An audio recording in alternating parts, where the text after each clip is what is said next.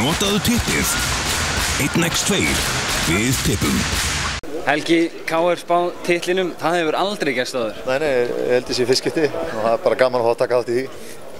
En við erum að tala um þarna þrjá sterka landslýsmenn, þig og, og Finn bróðinn og, og Brynjana. Þannig að kannski ekki þetta ósegjur sem að fólk er að horfa á K.R. sem kandidat í, í tillabaratu. Nei, nei, menna, við erum með flottan hóp og ég bjóst náttúrulega við okkur ofalega. Kannski ekki, ég var ekki viss hvar nákvæmlega en, en, en nei, nei, það er alveg rétt þar. Undirbúningstímabili, búið að vera fámett.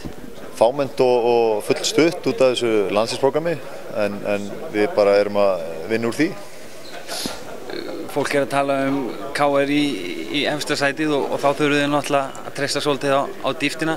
Nokkri ungi strákar aðna sem hafa verið að banka, strákar eins og Martin og Kristófur. Er þetta leikmenn sem þú sér fram á að koma til með að hlaupa vel undir baka með K.R. í vetur? Já, já, algjörlega. Kristófur er búin að vera alltaf mittur en, en, en ef hann að öllu, já ef hann, hann næsir, eðlilega því þá, þá sé ég fram á að geta notað á báða.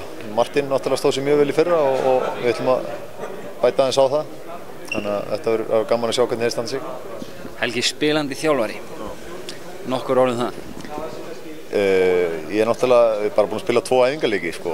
æfingarleikir eru æfingarleikir, maður er ekkert svona alltaf mikið að, kannski, að stressa sig á þeim sko. þannig að ég hef ekkert alltaf morgur orðum að okkur núna en, en enn sem komið er það mjög gaman en, en við sjáum á sunnudaginn hvernig þetta verður, það er í alverðinu komið Það eru þetta ekki svolítið áskorun, ég meina síðast er að Káur á með spilandi þjálfara þá var það herramenninni Vassel og Ingi Þór 98-99 held ég sem voru að gera þetta saman í hagaskóla þannig margt vattur undir sjávar þá eða ekki? Jú, jú, ég var nú í þessum hóp ef, ef maður er rétt þarna, 17 ára eða eitthvað líka. En, en jú, jú, þetta verður alveg veist, þetta verður alveg erfitt og, og annar sko, en, en skilur, það verður bara eins og ég segi, maður veit ekkert. Þetta, ég hef ekki pröfað þetta þannig að það bara verður að koma í ljós.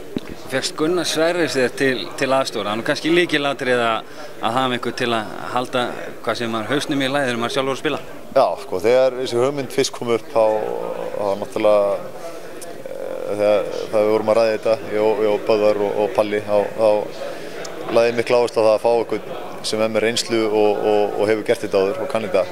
Og Gunni barst í tal þar sem hann var að starfa innan, innan KR og, jú eins og segir þú veist, ég menna ég sé ekki, þú veist, maður sér ekki þarna allt sem er að gerast þegar maður er að spila leikinn, maður hefur bara tilfinningu fyrir því sem að kannski, þú veist, tveim-trem mönnum, eða skilur bara ykkur nokkur metrum í kringu sig. Þannig að, jú, líkilatir að hafa eitthvað sem maður getur treyst á begnum Veturinn framöndan, hverju hefur þú trú á því að svona gerir tilkall í titlan á samt káður? Ég var að svara þess á karamhótturis Já, nákvæmlega, núna á vídjói að, nei, það er enna það er ekki stjarnan all, veist, ég er náttúrulega ekki séð útlendinga hjá munum en, en hvað íslenska leikmannhópa var þá er stjarnan, Snæfell uh, Grindavík og, og Þóð Þólagsöp með nokkuð massíðan svipaðan kjarnáði fyrra og, og náttúrulega sumi þjálfara á hana. Og svo er Keflavík með, með þar er Lewis í bróti fylkinga virka, virka sprækir. En, en ég eins og sé, ég hef ekki séð þessi lið nægilega mikið. Eitt að lókum Ætlar að kaupa sjálfa því fantasíleiknum? Auðvitað, nei, nei, ég er of, ofverðalagur hann að sínast mér, ég er 95 kostaði þetta, ég geti alveg bara slett í sko.